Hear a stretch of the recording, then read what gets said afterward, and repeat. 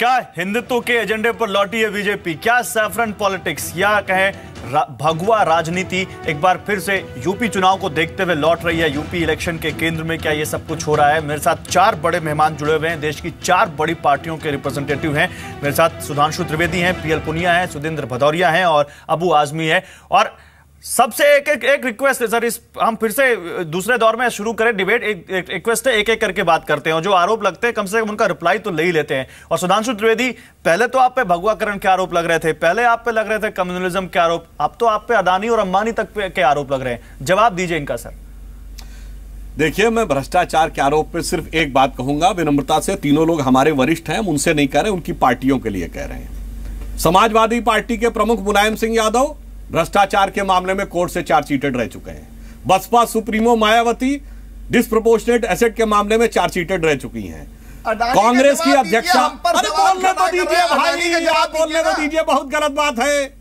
बोलने दीजिए। अपना टर्म आए तो बोलिएगा। बोलने दीजिए भदौरिया साहब बोलने दीजिए। तो भदौरिया जी बोलने दीजिए। भदौरिया जी आप ही की बात का सवाल पूछा और आप ही बोलने नहीं दे रहे। बनिए मुझे। भदौरिया जी आप ही का सवाल पूछा सर। आप ही ने अडानी अंबानी का आरोप लगाया। नहीं वो जवाब नहीं दे रहे हैं। सर तो अपना जवाब मुँह में नहीं डलवाएँगे ना? उनको बोलने दीजिए। सुन तो ले क्या कह रहे हैं? तक पहुँचने देंगे तब हम आएँगे ना। आप लोग तो आरोप लगा रहे हैं। मैं तो कोर्ट की प्रोसीडिंग कोर्ट कर रहा हूँ।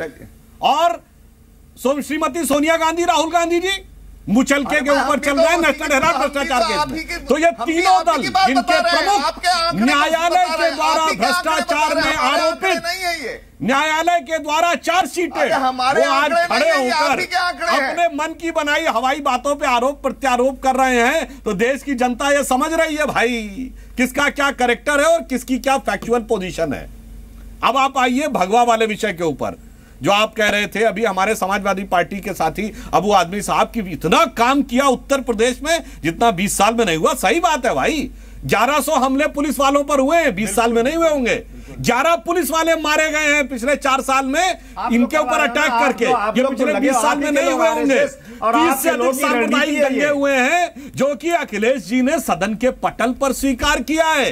ऐसा कभी नहीं हुआ उत्तर प्रदेश में। इसलिए आपका तो बहुत ही महान योगदान है उत्तर प्रदेश में जो बीस साल में आप नहीं करते हैं। और रही बात इसकी भगवाकरण और आप सांप्रदायिक राजनीति की बात करता हूँ तो एक बात देता हूँ। दादरी की घटना एक घटना हुई थी गृह मंत्रालय ने तत्काल रिपोर्ट मांगी। कैराना पे भी रिपोर्ट मांगी थी। मुजफ्फरनगर की इतनी बड़ी घटना हुई कांग्रेस की केंद्र में सरकार थी रिपोर्ट मांगी थी यूपीए सरकार से नहीं मांगी। एडवाइजरी दी थी नहीं दी। तो ये आपका असली चरित्र दर्शाता है कि आप ये क्या कर रहे हैं। और सर्वोच्च न्यायालय ने क्या टिप्पणी की मुजफ्फरनगर के मुद्दे के ठीक है ठीक है। जो एक बहुत देश के बड़े स्ट्रिंग चैनल ने स्ट्रिंग ऑपरेशन किया था उसमें क्या निकला था? कि समाजवादी पार्टी के वरिष्ठतम मंत्री ने उनको आकर आप मुजफ्फरनगर में वो काम किया जिसकी वजह से दंगा भड़का। मथुरा में क्या हुआ? एक और वरिष्ठतम मंत्री का सीधा है। ये बताया है कि आप लोगों आप सर, लोगों ने और अभी भदौरिया जी ने अबू आजमी अबू आजमी अबू आजमी। आप लोग जेल में गए अबू आजमी। ये उचित नहीं है भाई। अबू आजमी आता हूँ मैं आपके पास पीएल पुनिया आपकी सरकार पर बड़े गंभीर आरोप लगे जरा जवाब दीजिए उसके बाद अबू आजमी के पास आऊँगा मैं। क्या शब्द प्रयोग मैं आता हूँ। और उसके ऊपर तो मंत्री भी खेद व्यक्त कर चुकी है प्रधानमंत्री बोल सके। मगर आदरणीय भदौरिया जी आपकी पार्टी के सुप्रीमो और काशीराम जी ने उन्नीस सौ बानबे में श्री राम जन्मभूमि के लिए जिस शब्द का प्रयोग किया था उसके लिए तो आज तक खेद नहीं व्यक्त किया है और इतना घटिया शब्द था कि वो बोला नहीं जा सकता है तो बताइए कोर्ट की प्रोसीडिंग एक एक करके सर एक एक करके सुधांशु त्रिवेदी कंप्लीट कीजिए सर सुधांशु त्रिवेदी ओके खत्म कीजिए कोई देश में राजनीतिक पार्टी नहीं अबू आजमी आ रहा हूँ मैं अबू आजमी आ रहा हूँ पीएल पुनिया को बोल रहे थे। मंदिर वहीं बनाएँगे पर पर तारीख नहीं बहाएँगे भारतीय जनता पार्टी हो। बहाएँगे। भारतीय जनता पार्टी की तरफ़ से दिक्कत क्या है? वो सब कहते हैं कि पहली बार हम हिंदुस्तान में कर रहे हैं। मुझे मुजफ्फरनगर में रिपोर्ट क्यों नहीं मांगी? ये कौन कहता है? ये झूठ ना बोला जाया करे। आपने कहा कि अरे पुनिया साहब आप बता दीजिए होम मिनिस्ट्री ने कब एडवाइजरी मांगी है? मैं पूरे सम्मान से कह रहा हूँ कि आप गलत बोल रहे हैं पुनिया साहब। केंद्र सरकार ने न कोई एडवाइजरी मांगी न कोई चेतावनी दी। भ्रष्टाचार रुपए लेने में यदि ऐसा है तो आप मुझे चेतावनी दिखा दीजिए कोई चेतावनी कोई एडवाइजरी नहीं दी थी। उनको तड़ी पार के आदेश दिए गए थे गुजरात में घुसेगी नहीं। गुजरात क्या आरोप हैं किस तरह की बात कर रहे हैं? जिस तरह से जिस तरह से आपने कहा कि विकास और विकास में दंगे एक थे तरफ़ तो? मंच से कहते हैं कि नरेंद्र मोदी जी विकास की बात करते हैं और ये इनके अपने राष्ट्रीय अध्यक्ष बात करते हैं कैराना की बात करते हैं वहाँ ध्रुवीकरण की बात करते हैं ये कौन सा है मुझे एक ये बताया जाए किसी कार्यक्रम जिससे जनता को कोई लाभ पहुँचा हो जो हमें मौका था कि विदेशों से तेल सस्ता हुआ है नहीं, नहीं, पीएल बुनिया साहब ये बताइए, पीएल बुनिया साहब। इन्होंने नहीं होने दिया पीएल बुनिया साहब पीएल बुनिया साहब पीएल पुनिया साहब आप आप आप विपक्षी पार्टी हैं। पीएल पुनिया आप विपक्षी पार्टी है। पीएल पुनिया सुनिए। पीएल पुनिया साहब पीएल पुनिया साहब आप विपक्षी पार्टी हैं। आप विपक्षी पार्टी है केंद्र में भी और आप सूबे में भी विपक्ष नहीं ही। है पीएल पुनिया साहब सुनिए तो आप सवाल नहीं सुन रहे। पीएल पुनिया साहब। इन्होंने रोकने का प्रयास किया? दो साल सूखा पड़ा। किसानों को क्या राहत दी? नहीं, नहीं। ये तो बता दे। पीएल पुनिया साहब, आप केंद्र में भी विपक्ष में हैं और राज्य में भी विपक्ष में एक एक बात बताइए, आप इन सब चीज़ों को लेकर जनता के बीच कब जा रहे हैं, सर? आप ये बताइए इन सब इशू को आप लेकर जनता के बीच कब जा रहे हैं? ना तो आप लखनऊ में दिखते हैं कभी इस चीज़ को उठाते हुए ना दिल्ली में दिखते हैं। छोड़ दीजिए आप चिंता मत करिए। आप चिंता मत करिए जो ढिंडोरा पीट रही है ये ढोल बजा बजा के बता रहे हैं, करिए भाई। अभी राज्यसभा के चुनाव हुए हैं, जिसमें कांग्रेस के प्रत्याशी को सपा ने भी समर्थन बसपा ने भी किया। सबके हाथ मिले हुए हैं, पूरी मिली भगत है भाई। कुछ नहीं किया। एक रत्ती भर का काम नहीं हुआ। त्रिवेदी साहब, महँगाई हो गई। मुझे त्रिवेदी साहब से एक क्वेश्चन पूछना है। गई। मैं आता हूँ अबू आजमी। डूबे जा रहे हैं। मैं आता हूँ। ठीक है अबू आजमी पूछिए क्या पूछ रहे हैं आप? बोलिए। नहीं त्रिवेदी साहब बहुत ही ज़ोर से बोल रहे हैं कि मुजफ्फरनगर में दंगे हुए रिपोर्ट में मंगाई गई थी और जो दादरी में हुआ मैं इनसे पूछूँ बहुत सम्मान के साथ कि जब इनकी सरकार गुजरात में फुल फ्लेज सरकार थी 2002 में ढाई हज़ार लोग मार दिए गए सर, आप तो कहा जा रहे हैं गुजरात पे? फिर तो इस डिबेट डिटेल हो जाएगी। गवर्नमेंट ने इसे उस रिपोर्ट बहुत बात हुई है, सर। नहीं नहीं उस पे बहुत की बात कर रहे हैं ना सर, आप मथुरा पे बात करिए, कैराना पे बात नहीं कर रहे, कर आप सीधे गुजरात जा रहे हैं। अपनी convenience पार्टी के हिसाब से हर कोई issue बदल रहा है, sir. Sir, debate- derail detail हो जाएँगे इनकी सरकार आज गुजरात कैराना कैराना में नहीं है ना? इनकी सरकार केराना में नहीं आपकी तो है ना, सर। आपकी तो है ना। गुजरात में दंगे में तो क्या कर दिया लिया था इन्होंने? ढाई हज़ार लोग मारे गए थे। आप भारतीय जनता पार्टी के लोग तो ढाई हज़ार जा रहे हैं लिए। और आपके और आप गुजरात जा रहे तो उसमें आपको आपत्ति हो मुझे आपत्ति इस बात की है की आप डिबेट्स भी हम इशू से डिरेल हो जाएँगे सर। आप यूपी पे बोलिए मैं आपको बोलने से मना नहीं कर रहा हूँ। लेकिन आप गुजरात जाएँगे आप कर्नाटक जाएँगे आप उड़ीसा जाएँगे तो बहुत सारी बातें होती रह जाएँगी मुझे कोई दिक्कत नहीं है। आपकी बातों का सम्मान है जवाब उसमें क्या देंगे। उसमें क्या आपका आपका क्या कार्यक्रम था उसमें? मथुरा में एसएसपी की हत्या हुई।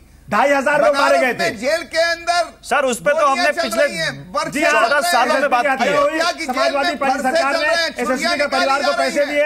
एसएसपी की बीवी को नौकरी दिया और लोगों को जेल भेजा अपने मंत्री को मंत्री को सस्पेंड किया।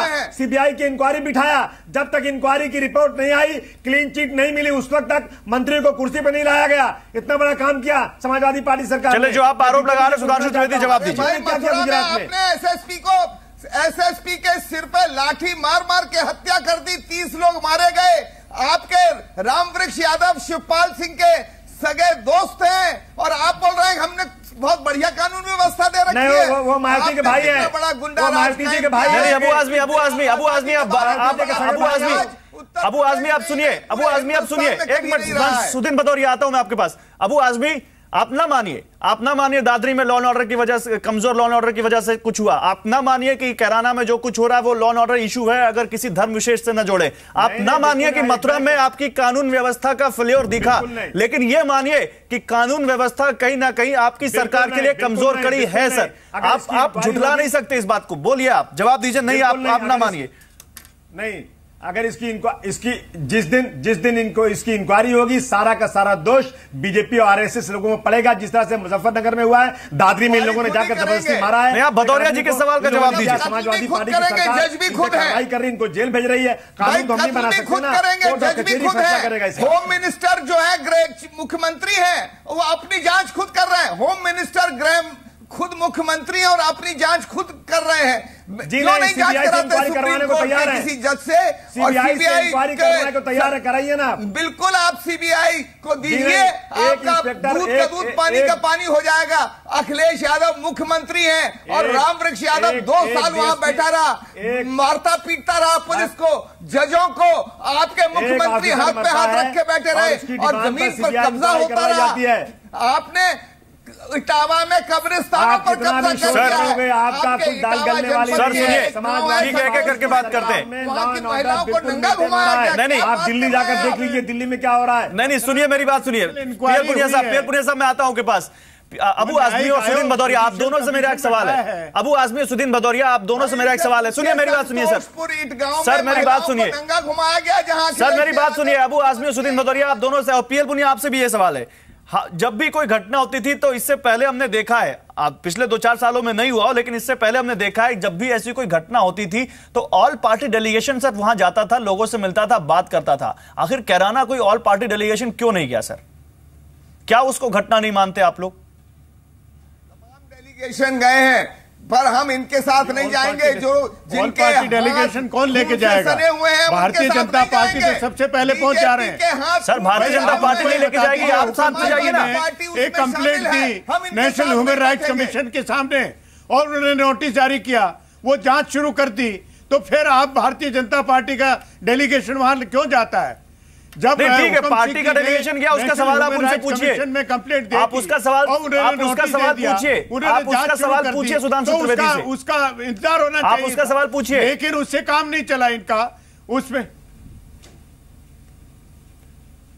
चलिए ठीक है मैं आता हूँ आपके मेरा पास ये कहना है आप ऑल ऑल पार्टी डेलीगेशन की बात कर रहे हैं। हाँ। ऑल पार्टी डेलीगेशन की कौन? चार सालों से हो रहा है। ये तो बीस साल पहले कोई भागा है पच्चीस साल पहले कोई चला गया है पंद्रह साल पहले कोई चला गया है और आज समाजवादी पार्टी की सरकार चार साढ़े चार साल से है तो सारा का सारा दोष समाजवादी पार्टी में लगाएँगे आप? किराना से लोग जा रहे हैं प्लान करके अपने कारोबार करने के लिए धंधे बिज़नेस के लिए या कुछ वहाँ पर रंगदारी मांगने वाले उनकी वजह से? क्या आज हो रहा है? क्या? बीस पच्चीस साल से लोग? जवाब कौन देगा? चलिए चलिए ठीक है ठीक है ठीक है ठीक है। सुधांशु त्रिवेदी से जवाब देते हैं। सुधांशु त्रिवेदी? गोलियाँ चल रही हैं ठीक ठीक है सर ओके मिस्टर भदौरिया ठीक है सर। सुधांशु त्रिवेदी से जवाब ले लेते हैं। सुधांशु त्रिवेदी जवाब दीजिए जल्दी से। उसके बाद मेरे पास भी एक सवाल है आपके लिए फिर मैं आपसे सवाल पूछूँगा। पहले आप इनका जवाब दीजिए। देखिए मैं पहले तो ये कहना चाहूँगा कि जो बार बार बोलने के दौरान हस्तक्षेप हो रहा है वो जानते हैं क्यों हो रहा है? ये तीनों पार्टियाँ एक ही वोट बैंक पे केंद्रित होकर ऐसी प्रतिस्पर्धा है कि जवाबी कव्वाली चल रही है? कि अगर एक ने एक सेंटेंस बोला तो दूसरे को मौका देने से पहले कूद पड़ रहे हैं। इसलिए हमें बोलने का मौका नहीं दे रहे। बोल रहा हूँ। तो अब मैं ये बात कहता हूँ? बोलने लगे आप लोग। आपको क्यों तकलीफ़ हो रही है? अरे हमें तकलीफ़ नहीं है भाई एक एक करके बोलिए। एक एक करके जवाब दीजिए। फिर तीनों पार्टी तीनों पार्टी करे जा रहे हैं। अरे भाई इसमें कहीं कोई किंतु परंतु है। तीनों पार्टियाँ यूपीए में साथ साथ मिलकर सरकार चला चुकी नहीं नहीं है। मैं मैं इंतज़ार अरे आप और समाजवादी पार्टी एक साथ है अच्छी बात है कोई एतराज़ नहीं है। आप मिले क्यों नहीं कर कैराना लेते? के मुद्दे पर भाई, एक साथ समाजवादी पार्टी आपस में मिला कर लीजिए। कई बार। आप अपनी बताइए ना रहे हैं, कौन वोट बैंक की बात कर रहा है? वोट बैंक की चिंता तो आपको। समाजवादी पार्टी उस वोट की चिंता के रही नाते ये सब नहीं नहीं ऐसे बात नहीं हो पाएगी सर सर सर ऐसे बात नहीं हो पाएगी। पीएल पुनिया सुदीन भदौरिया अबू आजमी ऐसे बात नहीं हो पाएगी। अबू आजमी आप आरोप लगा रहे हैं तो जवाब तो देने दीजिए सामने वाले को वाकई लग रहा है कि थ्री टू वन हो रहा है यहाँ पर। मैं तो चाहता हूँ सब अपनी अपनी बातें रखें उनको जवाब देने दीजिए फिर आप आरोप लगाइए। और एक एक करके बात करते हैं मैं रिक्वेस्ट बार बार कर रहा हूँ सर ताकि जनता को व्यूअर को आपकी बात समझ में आए सामने वाले की बात समझ में आए। मैं, मैं, मैं देखिए मैं इन पर आरोप नहीं लगा रहा हूँ। हाँ। मैं तो इनसे कह रहा हूँ समाजवादी पार्टी को अपने अंदर विलय करा लीजिए क्योंकि वो भी महंत लोग भेज रहे हैं अयोध्या में और आप लोग भी वही आप रहे हैं, तो आप बहुत अच्छे वक्त हैं सर और? अपने आरोप न लगाते हुए बहुत अच्छी सलाह दे दी। आपने जो शायद ही सपा और बीजेपी को पसंद आए आप मुस्कुरा भी रहे अपनी सलाह पर। ठीक है आप जानते हैं आपकी सलाह का मतलब क्या लेकिन सुधांशु त्रिवेदी की बात पूरी हो जाए उसके बाद फिर मैं एक सवाल सुधांशु त्रिवेदी से पूछूँगा। मैं आ रहा हूँ अब सुधांशु त्रिवेदी जल्दी अपनी बात पूरी ये कहना चाहूँगा कि कैराना जैसे गंभीर मुद्दे के ऊपर जिस प्रकार की राजनीति हुई वह दुखद है क्योंकि यह यथार्थ है कि 2011 में वहाँ पर प्रतिशत 70 प्रतिशत बनाम 30 प्रतिशत था। 2016 में वो बानबे प्रतिशत बनाम 8 प्रतिशत हो गया। इसके बाद भी आप उसको कह रहे नहीं नहीं इसमें तो वो रोज़गार के लिए गए पहले गए तो मैं वाक्य पूरा कर लूँ। ये भी वाक्य पूरा करने कहाँ से लेके आए भाई मुझे वाक्य पूरा कर लेने दीजिए फिर आप बोलते चले जा रहे हैं। पुनिया जी। यही आप कश्मीर घाटी में आँख मूंद कर इस ढंग के तर्क देते रहे और हकीकत क्या हुई? यही आप आसाम के करीमगंज और डुबरी में से के तर्क देते रहे और क्या हुआ? यही आप पश्चिम बंगाल के मालदा में तर्क देते रहे तो क्या हुआ? यही आप केरल के बल्लभपुरम में तर्क देते रहे तो क्या हुआ? वहाँ के लोगों ने है। मुस्लिम हिंदू एक साथ वोट बैंक कह दिया कि हम लोग सब भाई भाई की तरह रहते हैं लेकिन उसके बाद। कोई आवरण देने का प्रयास करते? रहते हैं? मैं आ रहा हूँ आपके पास आ रहा हूँ आपके पास आपके कोट आपको अपनी। बात मैं आ रहा हूँ साथ जवाब दे दीजिए और ठीक है आ रहा हूँ अभी पूछेगा एक मिनट आ रहा हूँ। सुधांशु त्रिवेदी अपनी बात कंप्लीट कीजिए जल्दी। सुधांशु त्रिवेदी अपनी बात कंप्लीट कीजिए। लेके आए ये पूछ रहा हूँ। ठीक है ये बता देंगे। अभी अब आपने पूछ लिया मैं सब मैं पूछ लेता हूँ आपकी बात। सुधांशु त्रिवेदी जवाब दे दीजिए इनका भी अब। देखिए मैं जवाब दे रहा हूँ ये आंकड़े 2011 की जनगणना के आपके और अभी वर्तमान में मीडिया से लेकर जो आपके एसडीएम कार्यालय तक की और जो क्या उपलब्ध बात? रिपोर्ट है? उसका- नहीं तो क्या बात आप बता दीजिए ना आपके पास क्या आंकड़ा इनकी फितरत आप बता दीजिए ना क्या आंकड़ा बताइए। जहर फैलना चाहते हैं सब जगह। और मैंने तो आपसे उदाहरण के साथ बता दिया। आप कश्मीर घाटी में भी यही जवाब देते रहे। भाई इस ढंग से तो डिबेट नहीं हो सकती कि कोई बोलने नहीं देगा भाई। मैंने नहीं ठीक है ठीक है। पीएल पुनिया साहब बोल तो लेने दीजिए। पीएल पुनिया साहब पीएल पुनिया साहब। दिखाई दे पीएल। पुनिया साहब पीएल पुनिया साहब लेट हिम कंप्लीट ना। वो आपके बीच में नहीं बोल रहे आप उनके बीच में बोल रहे हो। ये मैंने नोटिस किया है सर सर उनकी उनकी बात पूरी हो जाए फिर आप आपके पास आऊँगा। अभी वक्त है आप ही चार लोग हैं आप ही चारों को अपनी बात रखनी है। नहीं गलत बात नहीं तो गलत है तो आप अपनी बात कहकर कह के उनकी बात सही कर दीजिएगा। इसलिए ओके सर। ठीक है लेकिन बार बार अगर कोई कह रहा है तो उसको बोल लेने दीजिए। सुधांशु त्रिवेदी जल्दी अपनी बात पूरी कीजिए। पीएल पुनिया फिर मैं आता हूँ आपके पुनिया साहब मैं गलत कह रहा हूँ तो कश्मीर घाटी में आप ऐसे ही तर्क दे रहे थे। आसाम के डुबरी और करीमगंज में ऐसे ही तर्क दे सर्वोच्च न्यायालय ने कहा था Bangladeshi infiltration is like an external aggression Gujarat पर आपत्ति जिस समय आप फिर बोलने लगे आप। गौरव जी ठीक है ठीक है सुधांशु त्रिवेदी सुधांशु त्रिवेदी मुद्दे पर रहते हैं। सुधांशु त्रिवेदी मुद्दे पर रहते हैं। सुधांशु त्रिवेदी मुद्दे पर रहते हैं। बंगाल के मालदा में क्या हुआ ओके ओके पीएल पुनिया साहब। मल्लापुरम में क्या हुआ था? सबका जवाब दीजिए। मल्लापुरम पुनिया साहब, मैं आ रहा हूँ। डुबरी त्रिवेदी मुद्दे पर रहते हैं। फिर कराना पे जवाब दीजिए? मुझे एक साथ सबका जवाब चाहिए। जनता पार्टी का ये काला चेहरा ये में। विनम्रता से कह रहा हूँ आपका दिख रहा है क्योंकि वोट बैंक के लिए आपने पूरी की पूरी। साम्प्रदायिक सांप्रदायिक सौहार्द को तार तार कर दिया था। देश के हर क्षेत्र में हर प्रांत में। आप लोग फैलाते हैं। आपके हुकम सिंह जी को नहीं दिखाई देता लेकिन आपको दिखाई देता है। आपके राष्ट्रीय अध्यक्ष को दिखाई देता है लेकिन हुकम सिंह जी को नहीं दिखाई देता। वो कहते हैं कि साहब, सांप्रदायिकता नहीं है। आप कहते हैं कि साहब, सांप्रदायिकता है। अब आपके मैं बोल अब मुझे आप दो वाक्य बोलने देंगे। नहीं नहीं उनकी बात कंप्लीट हो जाए सर वरना फिर वो बीच में बोलेंगे। पीएल पुनिया साहब अपनी बात कंप्लीट कीजिए चलिए आप पहले पीएल बोल पुनिया साहब अपनी बात कंप्लीट कीजिए। नहीं मेरी बात होगी मेरे सिर्फ़ ये कहना है कि हुकम सिंह जी इनके वरिष्ठ नेता है। वो कहते हैं कि इसमें कोई सांप्रदायिकता नहीं है। ये लाइन ऑर्डर प्रॉब्लम है वहाँ रंगदारी वसूल होती है। जिस तरह से पलायन हुआ है हिंदू फैमिली का पलायन हुआ, ये बात तो पहले भी आपने कही है। पलायन हुआ। लेकिन इनको और इनके राष्ट्रीय अध्यक्ष को ये सिर्फ़ दिखाई देता है कि सब सांप्रदायिकता है। ठीक है तो ये ये हो सांप्रदायिक का रंग देना बंद करें। समाज हित में नहीं है राष्ट्र हित में नहीं है। ठीक है सर ठीक है। अगर आपकी नेक सलाह बीजेपी माने कि तो नहीं ये माने ये तो पूछ ले उससे। सर आपकी इस नेक सलाह को बीजेपी क्या मानती नहीं मानती ये पूछ लेते हैं उससे। सुधांशु त्रिवेदी आपके पास आऊँ उससे पहले सुधींद्र भदौरिया भी कुछ कह रहे हैं वो उनकी बात भी ऐड कर लेते हैं फिर आता हूँ। सुधींद्र भदौरिया बोलिए। जल्दी अपनी बात जोड़िए सर इसमें।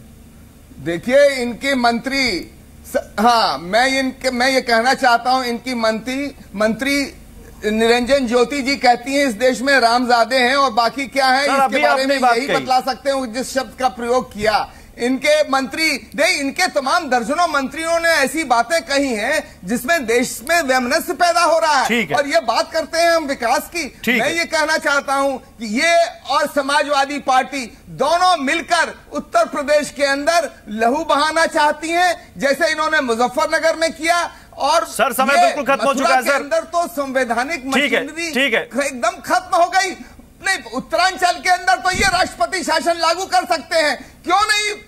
उत्तरांचल में जो राष्ट्रपति शासन जिसका कोई कारण नहीं था लागू किया गया पर उत्तर प्रदेश में क्यों नहीं लागू करते हैं? क्योंकि इनकी मिली भगत है। ठीक है, सर। कहना चाहते हैं। दोनों लोग उत्तर प्रदेश की सरकार बहुत हैं। शानदार आपने उत्तर प्रदेश का मुद्दा उठाया आजमी आपको जवाब दे देंगे सुधांशु त्रिवेदी से पहले। राष्ट्रपति शासन लागू करें। चलिए ठीक है। सुधांशु त्रिवेदी जल्दी से जवाब दीजिए समय बिल्कुल कम है। देखिए मैं कहना चाहूँगा भदौरिया जी पहले ही बोल चुके थे हमारी मंत्री के संदर्भ में। हाँ। मंत्री खेद व्यक्त कर चुकी हैं प्रधानमंत्री सदन के पटल पर बोल चुके हैं। पर आप लोगों से मैं कहना चाहूँगा यूपीए सरकार के प्रधानमंत्री ने यह शब्द बोला था Muslim should have first right over the national resources of India. आप तीनों उस सरकार में शामिल थे। कभी हमारे किसी स्तर के व्यक्ति ने यह शब्द बोला यह सांप्रदायिकता की आपकी सेकुलरिज्म की परिभाषा है?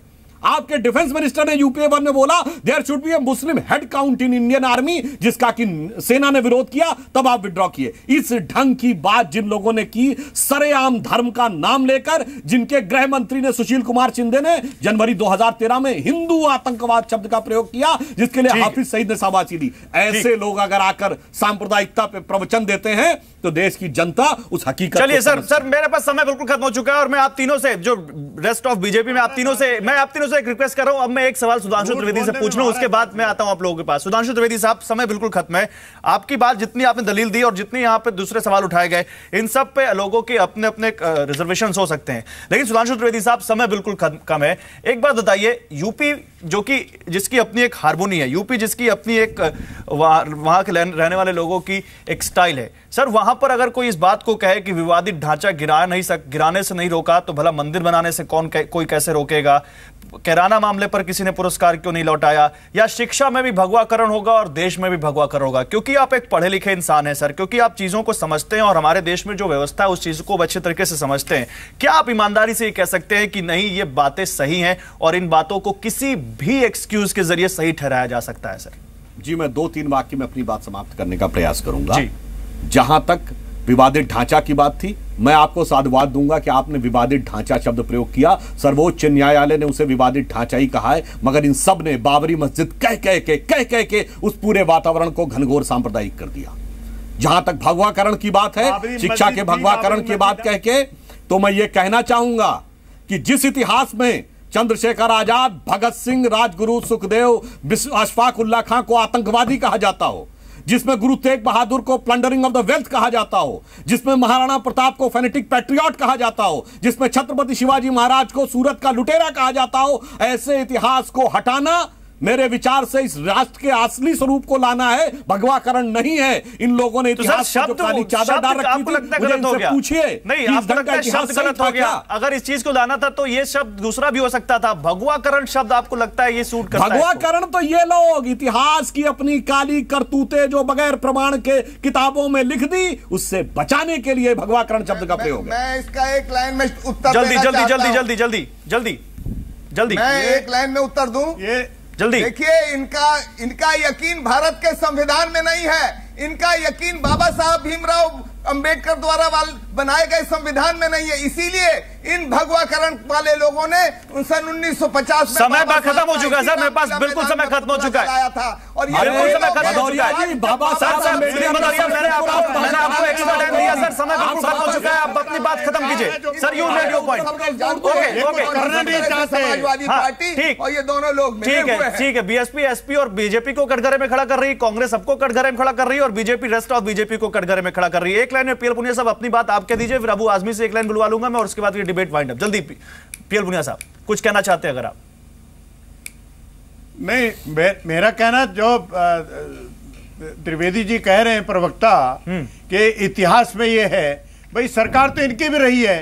पहले छह साल अटल जी की सरकार रही है तब तो इनको नहीं दिखाई दिया। चलिए, ठीक है, तब नहीं दिखा। तो सबको दिखाई देता है। ये इनका शुरू सत्ता का अहंकार है। ये सत्ता का अहंकार है ये सत्ता का अहंकार है। अबू आजमी अबू आजमी अबू आजमी जल्दी जवाब दीजिए आपकी सरकार पे अहंकार। भी सब सवाल है जल्दी। Abu Azmi final comment doctor Bhimrao Ambedkar के संविधान को जो लोग मिटाने की कोशिश कर रहे हैं वो कभी नहीं हो सकता है। संविधान में चेंजिंग करने के लिए थ्री फोर्थ की मेजोरिटी चाहिए और ज़िंदगी में बीजेपी को मिलने वाली चलिए ठीक है आपने तो टेक्निकल बात रख दी यहाँ पर। इस देश का okay sir thank you sir thank you समय बिल्कुल खत्म हो चुका है। आप सभी का बहुत शुक्रिया हमारे साथ जुड़ने के लिए। तो सवाल हमने उठाया सैफरन पॉलिटिक्स के ऊपर क्या ये वापस आ रही है यूपी में? क्योंकि यूपी इलेक्शन बहुत बड़ा ट्रिगर है।